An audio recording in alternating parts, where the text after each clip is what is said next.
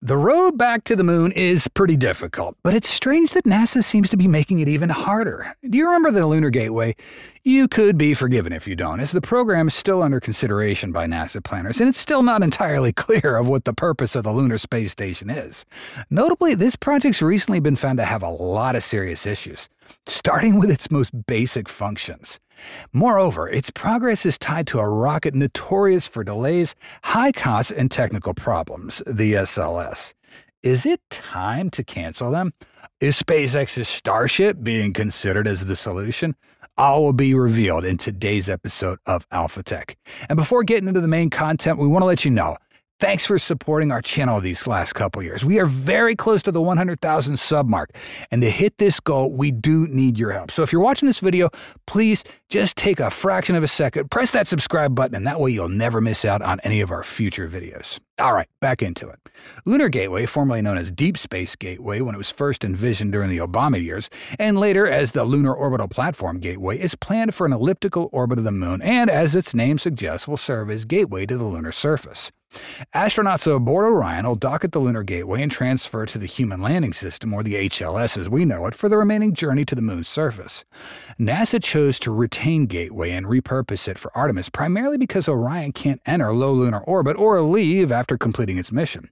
Orion can dock with Lunar Gateway in a highly elliptical polar orbit, flying 3,000 kilometers above the moon's north pole and about 70,000 kilometers above its south pole.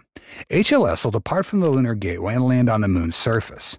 After the surface mission is done, HLS lifts off and docks with the gateway, and the crew will transfer back to Orion to return to Earth. Meanwhile, Lunar Gateway will be a base where HLS will get refurbished and refueled. Originally, the Lunar Space Station was expected to launch in 2022, but unfortunately that did not happen, and now, according to a new report from the GAO, NASA doesn't expect to launch the initial components of the Gateway until at least December 2027. The estimated baseline cost is a little over $5 billion. NASA's current plan envisions the Gateway as part of the Artemis 4 mission, which is now scheduled for September 2028. Unfortunately, the Gateway's current launch target is three months later than needed to support Artemis 4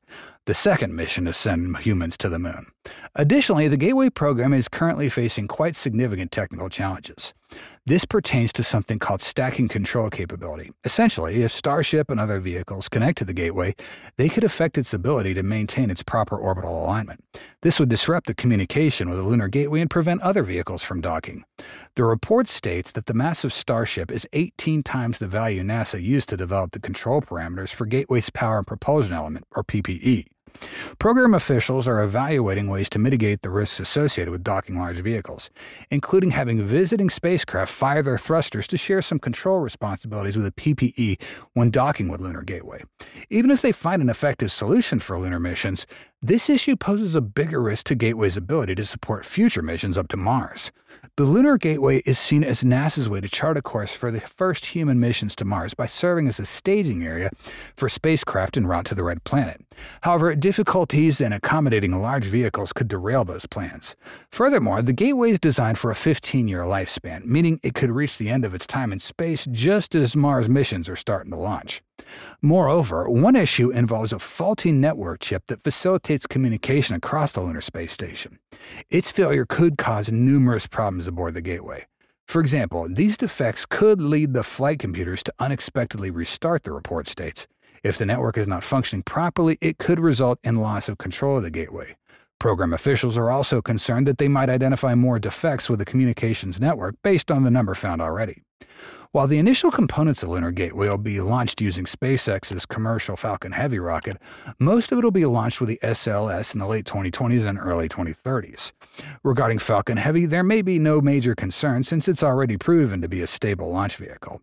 However, SLS is a different story as it comes with exorbitant costs, and with its traditional engineering methods, it can only launch once a year. SLS was designed in the early 2000s when reusability was more experimental than practical or seriously being considered.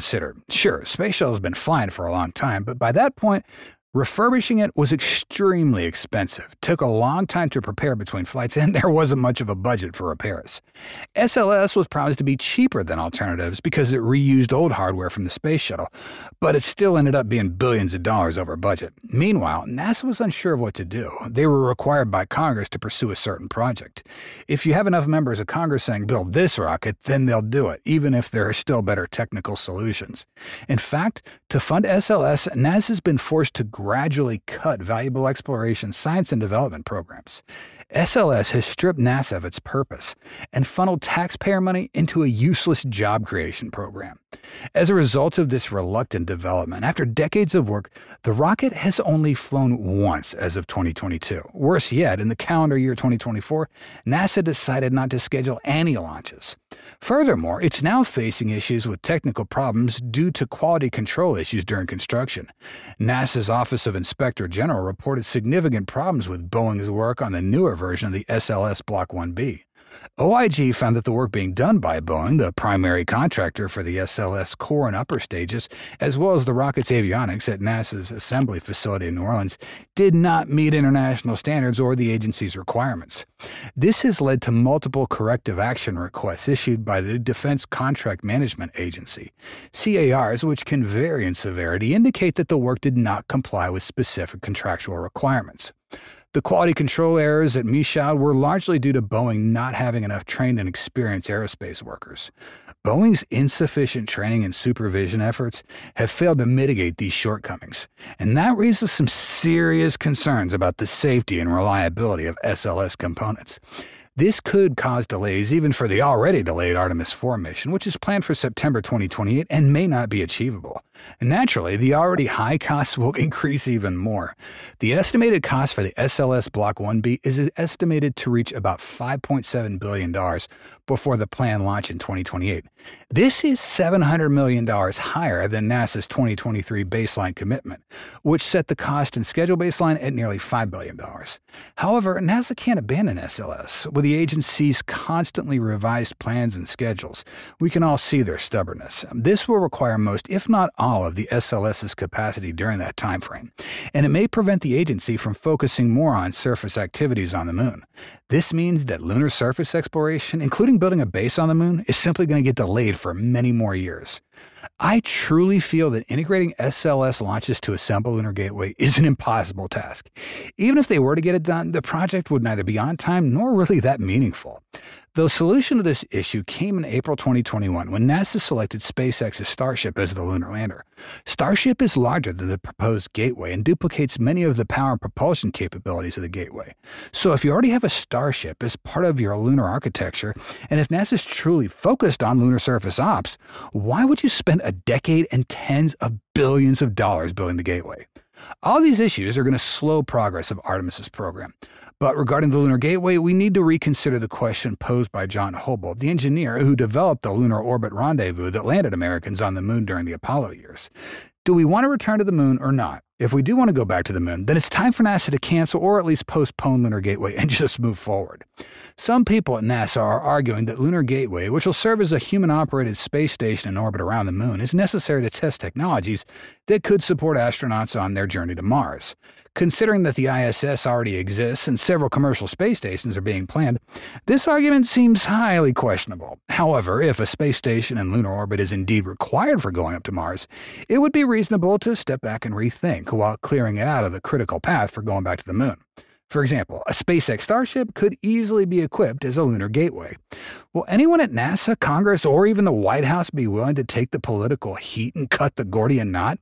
The answer to that question will determine our seriousness about becoming a true deep space faring nation and the leader of the efforts to get back to the moon. That's all for today's episode. Thank you so much and see you next time.